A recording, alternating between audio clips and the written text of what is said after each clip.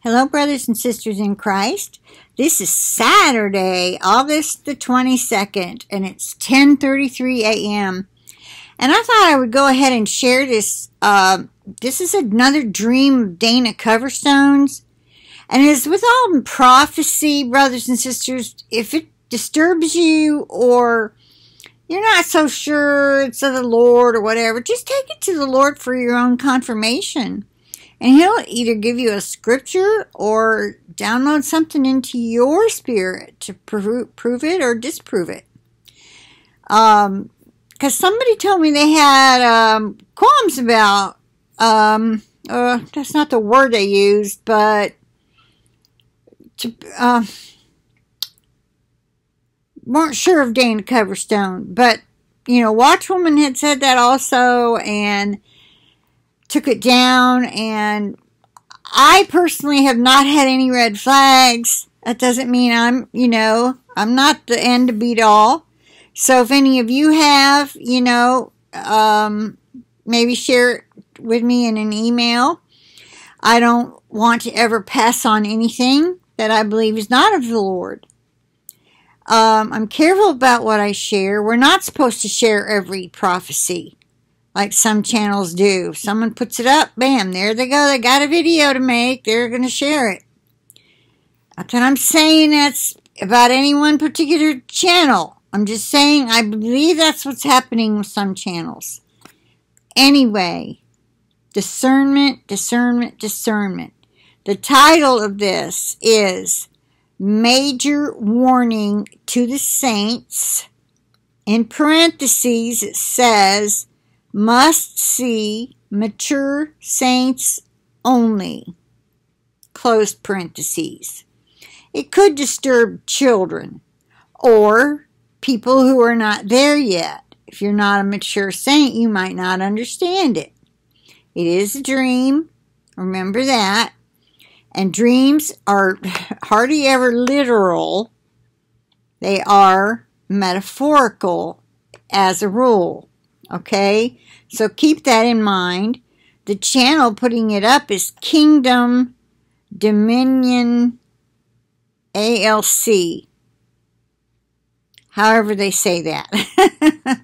okay, so um, it is about uh, wolves coming into the church, literal wolves being having been woke up by Satan, stirred up, angered up, and sent into towns. They crawled into the churches, sat beside people, and the folks were just stroking them, you know, like, oh, nice little puppy. yeah, right. wolves about to bite their heads off. But no, we know what wolves represent false leaders, false teachers, false Christians, who are sent into churches to infiltrate, to drop their lies here and there. That's what wolves are, right? Wolves in sheep's clothing. Well, anyway, so that's basically what it's about. So I'm just going to link it. And uh, if you want to see it, then um, feel free to watch it. It is uh, basically for us, I, I take this as for mature saints only. Okay, why would it be for mature saints only if it was meant to be kept to ourselves? It is to instruct you on what is going on in the churches, why Jesus keeps saying, Come out of her, my people, and those who are awake to the days we're in, we're not supposed to keep all this stuff to ourselves. You're supposed to pass it on, even if it's one on one, on your own channel, maybe share it, like it. His, not mine, because his is the message. And then people that look and see what you like will say, oh, she liked this video, I'll watch it too. You see what I'm saying? That's how people are. That's how come liking something gets it shared, okay? And share it on your Facebook. Um, and please include the see must see mature saints only, and that way, or um, for um, however you want to word it, not for children. Just because you know they're more sensitive about what children watch now. I don't know why they give a rip.